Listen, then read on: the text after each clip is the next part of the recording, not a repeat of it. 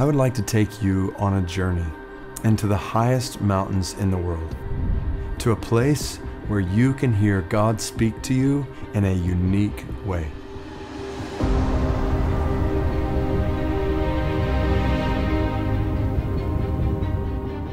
A place of surpassing beauty and unspeakable darkness.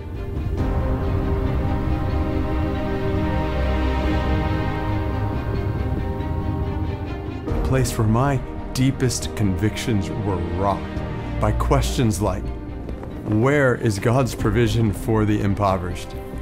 Where is God's protection for the enslaved? If the gospel really is true and God really is good, then why are some people born into earthly suffering only to move on to eternal suffering without ever even hearing about Jesus?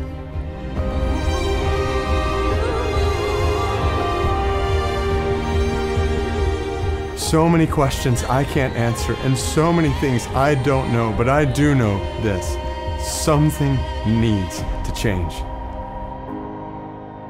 This book isn't just a journey into the mountains, it's a journey into your own heart to see who you really are and to see the world as it really is in a way that your life, no matter where you live or what you do, cannot stay the same.